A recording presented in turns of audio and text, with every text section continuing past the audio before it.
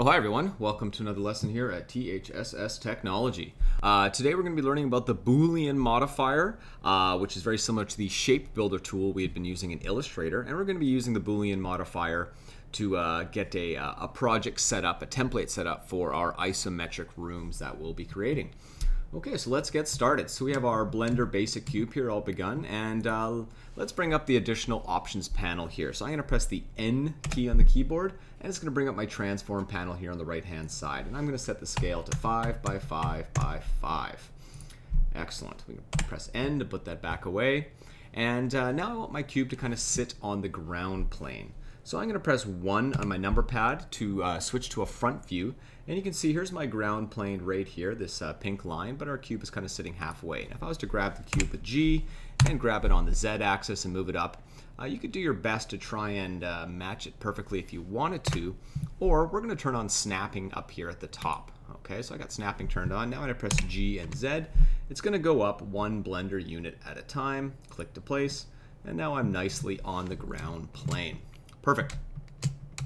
Okay, next we're going to make a duplicate of that cube. So we're going to press Shift D, which is going to duplicate the cube. As you can see, we have a duplicate cube here. And what I'm going to do is I'm going to press X to move it on the X axis and pull it out one blender unit, and then G and Y, and pull it one unit, and then G and Z, and to raise it up one unit. And what that's done, it's placed our cube in the section where we're going to cut out to create our isometric bedroom. Okay, so what the Boolean modifier does is it takes two overlapping shapes and it creates a cavity uh, where those shapes are intersecting, very much like the shape builder tool. So I'm going to deselect by left clicking anywhere and then I'm going to select our main cube, the one we have on the underneath. Then, the, then on the options panel here on the right hand side, we're going to click on the wrench, which is our modifier panel. We're going to add modifier and we're going to add a Boolean modifier. It's got a little image of exactly what we're wanting to do. So I'm going to click on Boolean modifier. I'm going to take the difference, and then we got to select the object we want to take the difference of. So I'm going to click on the eyedropper.